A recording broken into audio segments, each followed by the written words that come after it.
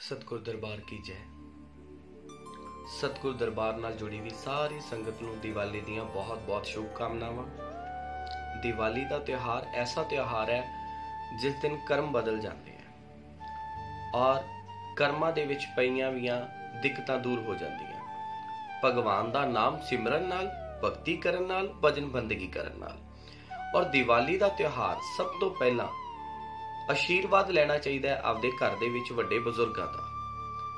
ਔਰ ਦੂਸਰੀ ਗੱਲ, ਘੱਟੋ ਘੱਟ 31 51 ਜਿੰਨੇ ਦੀਪਕ ਆਪਦੇ ਘਰੇ ਮਿੱਟੀ ਦੇ ਦੀਵੇ ਜਗਾ ਸਕਦੇ ਹੋ, ਉਹ ਜ਼ਰੂਰ ਜਗਾਓ। ਮਹਾਲక్ష్ਮੀ ਨੂੰ ਭੋਗ ਲਗਵਾਉਣਾ ਹੈ, ਪੂੜੀਆਂ ਦਾ, ਸਬਜ਼ੀ ਦਾ ਔਰ ਖੀਰ ਦਾ।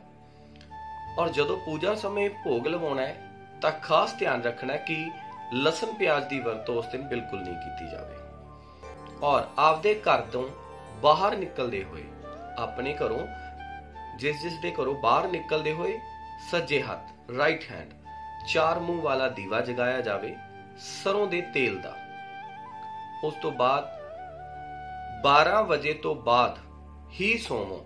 ਕੋਸ਼ਿਸ਼ ਕਰੋ ਕਿ 12 ਵਜੇ ਤੋਂ ਬਾਅਦ ਹੀ ਸੁੱਤਾ ਜਾਵੇ।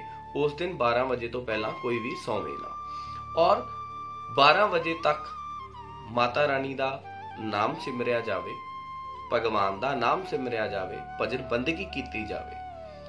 ਔਰ ਦੀਵਾਲੀ ਵਾਲੇ ਦਿਨ ਜਿਹੜਾ ਬੰਦਾ ਭਜਨ ਬੰਦਗੀ ਕਰਦਾ ਹੈ ਮਹਾਲక్ష్ਮੀ ਦਾ ਨਾਮ ਜਪਦਾ ਹੈ, ਉਸ ਦਿਨ ਉਹਦੇ ਤੇ ਅਪਾਰ ਕਿਰਪਾ ਹੁੰਦੀ ਹੈ ਤੇ ਕਰਮਾਂ ਦਾ ਲੇਖਾ ਜੋਖਾ ਬਦਲਿਆ ਜਾਂਦਾ ਹੈ। ਸਤਗੁਰ ਦਰਬਾਰ ਨਾਲ ਜੁੜੀ ਵੀ ਸੰਗਤ ਨੂੰ ਫੇਰ ਇੱਕ ਵਾਰ ਬਹੁਤ ਬਹੁਤ ਸ਼ੁਭ ਕਾਮਨਾਵਾਂ ਵਧਾਈਆਂ ਉਹਨਾਂ ਦੇ ਪਰਿਵਾਰ ਨੂੰ। ਅਰਦਾਸ ਕਰਾਂਗੇ ਕਿ ਉਹਨਾਂ ਦੇ ਪਰਿਵਾਰ ਵਿੱਚ ਸੁੱਖ ਸ਼ਾਂਤੀ ਹਮੇਸ਼ਾ ਬਣੀ ਰਹੇ ਤੇ ਇਹ ਦੀਵਾਲੀ ਉਹਨਾਂ ਦੇ ਘਰ ਖੁਸ਼ੀਆਂ ਲੈ ਕੇ ਆਵੇ। ਸਤਗੁਰ ਦਰਬਾਰ ਕੀ ਜੈ।